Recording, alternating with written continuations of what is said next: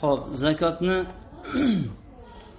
kimlar beradi va kimlarga beriladi va qachon beriladi va qanday qilib beriladi degan savollar hammamizni qiziqtiradi.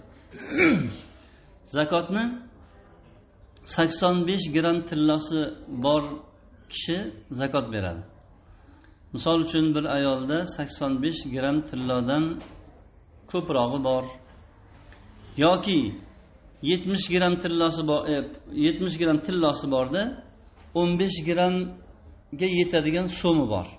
Misol uchun o'n besh grammga yetadigan so'mni ikkalasini qo'shsa yetmish gramm tillo bilan sakson besh gramm tilloni narxi kelib chiqadi.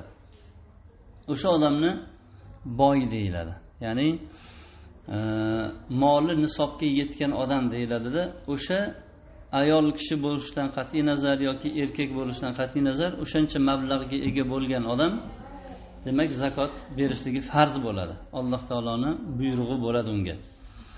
Ho'p zakot sakson besh gramm tilloni bu yil hijriy bir ming to'rt yuz qirq ikkinchi yil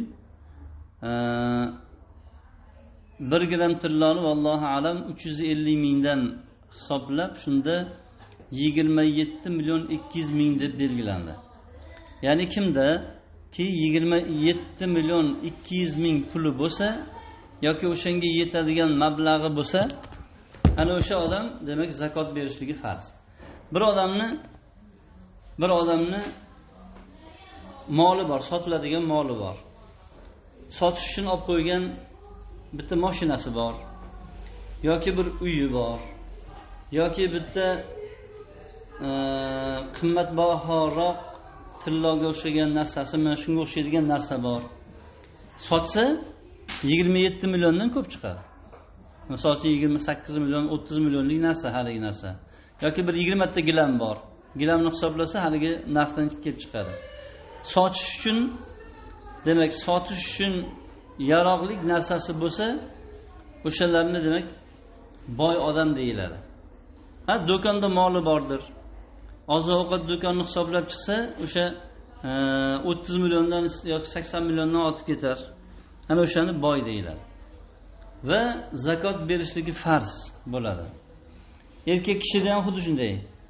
Misol uchun bu yil agar dollarga hisoblaganda e, e, ikki ming olti yuz sakson dollarmikan mana shunaqa atrofidada endi yigirma yetti million ikki yuz ming. Ana o'shancha puli bor odam boy hisoblanadida zakot beradi. Bir odamda uyi yo'q. Hech qanaqa uyi yo'q joyi yo'q hech narsasi yo'q. Kvartirada yashaydi lekin uch ming dollarni uyiga yig'ib yuribdi. Yoki besh ming dollarni shu yigirma ming dollar qilaman uy olaman deb yig'yapti. Ana o'sha odam zakot oladimi? Uyi yo'qku uni. Nechta bola chaqasi bor qiynalib yotibdi yeyishiga ichishiga kamchilik o'zi kvartirada tursa lekin qo'lida uch ming dollar puli bor. Ya'ni e, o'ttiz milliondan ortiq so'mi bor. Agar pulga chaqsa u boy hisoblanadida o'sha zakot beradi. Uyi bo'lmasa ham. O'sha pulidan zakot berishligi farz unga. Qiyomatda zakot bermasa javob beradi. Man uyimga olib qo'yuvdim yoki qizimni uyi yo'q edi yoki o'g'limni uyi yo'q edi shunga uy olib beraman deb pul yig'ib yuruvdim. Uysiz odamga pul yig'ib yurgan bo'lsam shu puldan ham zakot beramanmi? Deydi. Bittasi man zakot bermoqchiman deydi. Kimga zakot bermoqchisiz? desa singlimga deydi. Nimaga? desa u yaqinda qizini chiqaradi. O'g'lini uylaydi. A ho'p. Shu qizini chiqarsa o'g'lini hech narsasi yo'qmi desa yo yig'ib qo'ygan puli bo'lishi mumkin deydi. Baribir baribir to'yga ketadida unga deydi. Misol mebel oladimi boshqa oladimi baribir pul ketadi deydi. Lekin borib surishtirsangiz uch ming dollardan to'rt ming dollardan ortiq puli bor. To'y qilaman deb yig'ib yuribdi haligi. U zakot beradi unga zakot berish harom. Singlisi bo'lsa ham boshqasi bo'lsa ham unga ma sen to'yingga u o'n ming dollar ketadi. Mebel olasan to'yxonani gaplashasan osh qilasan e, qudalaringga uni qilasan unga sarpo qilasan kiyim kechak qilasan shuncha pulni ha? Xarajati bor mana senga zakot deb bera olmaydi. Aksincha o'sha ayolning o'zi zakot berishi kerak. O'sha o'g'il uylaydigan qiz chiqaradigan odamning o'zida uch ming to'rt ming dollar yig'ib qo'ygan puli bo'lsa o'shandan zakot berishligi kerak. Demak pul bor odam albatta zakot berishligi kerak ekan. Mani sotish uchun bitta uy olib qo'yganman. O'zimni uyim bor. Sotish uchun uyimni olib qo'yganman. Uni biznes sifatida foydalanaman. o'ttiz ming dollar yoki o'ttiz besh ming dollarga sotsam ketadi o'sha uy. Men o'sha o'ttiz besh ming dollardan zakot beraman. Yoki bitta moshina haydab yuribman yana bitta moshina olib qo'yganman sotish uchun deb olib qo'yganman. Qimmat bir xaridor chiqib qolsa sotaman deb internetga e'lon berib qo'yganman misol uchun. Yoki bozorga bozorchilarga aytib qo'yganman mana shunaqa e, rusumdagi moshinam bor mana buncha yurgan yili buncha man zakot beramanmi? E, sotaman deb qo'ygansiz. Sotaman deb qo'yganmisiz bo'ldi zakot berasiz. O'g'limga qizimga deb olib qo'ygan uylaringizga zakot bermaysiz. Ha? Misol uchun o'g'limga qizimga deb olib qo'ygan e, gilamlaringiz bor zakot bermaysiz. Sotish uchun olmagansizda uni. Lekin tillo bo'lsa o'sha tillo hali toinki o'g'lingizni qo'liga yetib bormagan masanga deb bermagansiz.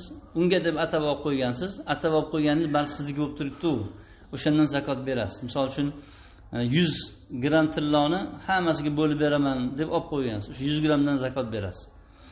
Ayollar ayollar misol uchun sakson besh gramm tillosi boru hech qanaqa so'mi yo'q puli yo'q men qanaqa zakot beraman?